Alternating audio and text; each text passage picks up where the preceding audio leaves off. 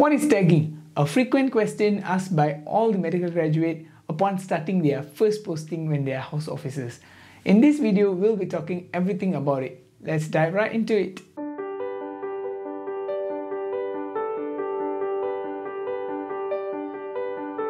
Assalamu alaikum and hello guys, this is Dr. Iliyas, a medical officer, double MRCS holder and aspiring ENT surgeon to be. Welcome to another video in Housemanship Survival series.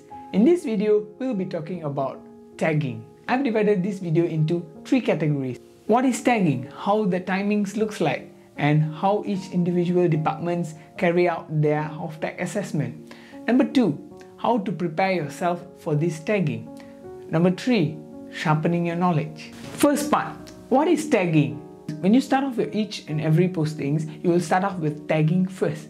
This is basically to familiarize yourself with the general workflow of the respective department. The timing is usually from 6 a.m. to 10 p.m. The tagging duration would be 1 to 2 weeks but could be longer for the first posters. Of course, most of the hospitals follow the system. However, like I've always mentioned before, in medicine there is no one size fits all. Each and every single department, even among the same hospitals, carry out their tagging differently. The rules and regulation might change. So make sure to talk to your senior housemen to know what is the exact timings and rules and regulations.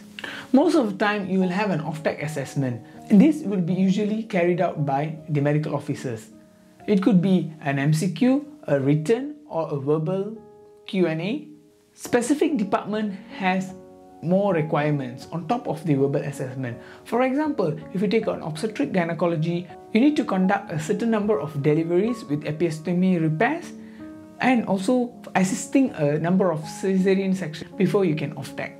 In pediatrics, you need to do a certain number of standby for cesarean section for resuscitation of newborns and also you need to take neonatal resuscitation program for medical department, you need to do a certain number of procedures on top of tracking certain number of new cases per day. For surgical rotations like general surgery, orthopedics, and obstetric gynecology, you need to go for your hospital, you need to go for your operation theatre orientation, which usually will be done by the OT sister or staff nurses. Of course, for orthopedics, you need to know how to apply plaster of Paris and assisting certain number of operations. Part B, how to prepare for tagging. Number one, start off with knowing all the location respective to your department. Usually, during hospital orientation, right after PTM, you will get to know which department you are going through. The moment you get to know which department, make sure to find out all the locations that you need to know with respect to your department. For example, if you're in general surgery, make sure to know where is the general operation theatre, where is the intensive care unit, ICU, where is the high dependency unit, HDW, where is the specific location of each and every single lab. Serology lab, for example, microbiology lab, hematology lab, where you where would you go and take blood for blood transfusion? Where would you send your arterial blood gases for investigation? Where would you send your histopathology for investigation and where to trace it? So make sure to know all these. Make sure to know the location of a general clinics if you are posted there Make sure to know your all your wards, your male, your female ward, your isolation wards. Make sure to know all these locations before you even go to your posting. You need to get familiarized yourself with how to trace investigation. First of all, make sure to know whether your hospital uses manual system or electronic systems. If it uses electronic systems, how to register yourself for the e-system. Usually they will tell you all this during the orientation, but no harm asking your fellow seniors for help and how to navigate the system so that you can print out the results to trace the results. If it is manual, what are the numbers to call? When I was a house officer in hospital Ipoh, what I used to do is we have all the hospital phone numbers printed out in a small paper and usually we'll put it behind the name tag. So it's very easy. We can just look through the number and straight away make a call to trace the investigation. You can do this or you can just simply call the operator to get the extension number. Now that we're done with locations, number two is documentation. Documentation starts with reviewing patient. The reviewing is a huge topic by itself. there I'll be making a separate video talking about what is the difference between daily review, post-op review, transfer in review, daycare review, oncology review, and etc. So make sure to keep watching for that video. Make sure you familiarize with all kind of forms, starting with observation charts, input-output chart, the glucose monitoring chart, GCS chart, then moving on to discharge letter, discharge note, letter to clinic kesihatan, memo to other agencies, referral letters, letter to social welfare, radiological investigation, blood consent, consent for operation. The list goes on and on. Make sure to familiarize with all these forms before or during your tagging. Part 3 Sharpen your knowledge. I hope you still have your medical books with you because you really need it. So, the moment you get to know your respective department, make sure to know all the common diseases for their respective departments and read their clinical practice guidelines. Know how to handle the medical emergencies or surgical emergencies. Know how to recognize them, what are the clinical signs and symptoms. Because remember, you are the one going to pick up these subtle clinical signs and symptoms and report it to your medical officer or specialist so that the appropriate treatment can be given to patients at the right time. Look through clinical practice guidelines and national antibiotic guidelines. If you're in pediatrics, make sure you know how to calculate for the maintenance and deficit for fluid resuscitation. In general, you need to know how to calculate for sodium and potassium deficit and correction. What is the formula for serum osmolarity? What, how to calculate the corrected calcium levels, dosage of commonly used medications, so make sure to go back to your medical books or download Blue Book application in your Android devices or Apple devices. This Blue Book has all the drug formulary available in Ministry of Health Malaysian hospitals. Polish your procedural skills. Go back to your OSCE books and watch some OSCE videos in YouTube. Because as a house officer, these are your bread and butter. You'll be doing these procedures day in and day out, starting from taking blood, setting branula, taking blood gases, taking a blood culture, and also setting a continuous bladder drainage.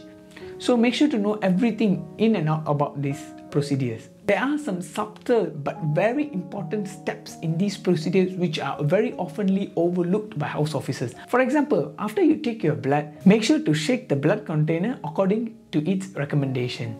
Because if you don't, the blood is going to be clotted, then your samples might be rejected then you need to take again, then you need to do more work. It adds burdens for you and also to the patient because the patient need to get poked again. Another example is when you take blood gases, whether arterial blood gas or venous blood gas, make sure to heparinize the syringe first and also transport it together with ice. These are the steps to prevent it from clotting and do blood cultures and procedures in a strict aseptic method. Guys, follow the standard of precautions. Don't use shortcuts. If your fellow house officers or senior house officers teach you the shortcuts, you remind them or you correct it and don't use shortcuts. Please make sure to bring along the blood taking trolleys with you. Make sure to have the sharp disposable and dispose it correctly. Do not recap the needle. Dispose the sharps accordingly. Please don't use shortcuts. Me, getting hepatitis or retroviral disease just because you want to save few minutes of your working time by not wearing gloves or recapping the needle is not worth it. On top of the three things that I mentioned, I have some bonus for you guys. My personal tips for tagging. Don't be shy or scared to ask questions to your fellow house officers. If they don't know, ask your medical officers. If they don't know, ask your specialists. If they don't know, ask your consultants. Please don't be afraid or shy. This is your time to learn. And don't worry if you, if you don't know how to manage or you don't know how to do a lot of procedures in the start. Remember, every great doctor started as you. Even the best surgeon in the world started as an assistant first. Bring water and food with you during your tagging. Food such as energy bars, some fruits, or biscuits so that you can just grab and go. Be humble yet hungry for knowledge. Always volunteer yourself to do procedures. Of course, you should read how to do it first. Don't rush to off-tag. Ask yourself these questions. Can I on-call alone in this ward? Can my medical officer or specialist trust me to manage this ward? The key word here is Am I a safe houseman? If the answer is yes, then you're ready. Number five, start your day fresh. Forget all the negatives that happened the day before. Number six, never, remember guys, never ever take whatever your medical officers or specialists or consultant say things personally because you don't know what kind of situation they are in, what they are going through. Forget and forgive, not for the benefit of others, but the benefit of your mental health. Remember, guys, don't ever take things personally. Regardless of whatever the medical officers or specialists say to you, majority of them do not mean to attack you personally. When you reach your home, as you're taking out your shoes, leave every negative things that happen in your workplace outside the house. And when you enter your house, spend quality time with your family members, have a good rest and recharge and good to go the next day. In summary, before start tagging, make sure you talk to your fellow senior housemen to know exactly how the tagging system works for your respective department. Number two, make sure to know all the wards and clinics and ICUs and all location of the ward respective to your departments. Then familiarize yourself with the documentations and the forms. Number three, sharpen your knowledge and polish your procedural skills. Finally, don't take things personally. Start your day fresh and before you off tag, ask yourself, am I a safe houseman? Hopefully this video helps you in your tagging. If you find it helpful, share it with your friends like the video. See you guys in my next video where I'll be talking everything about reviewing patients.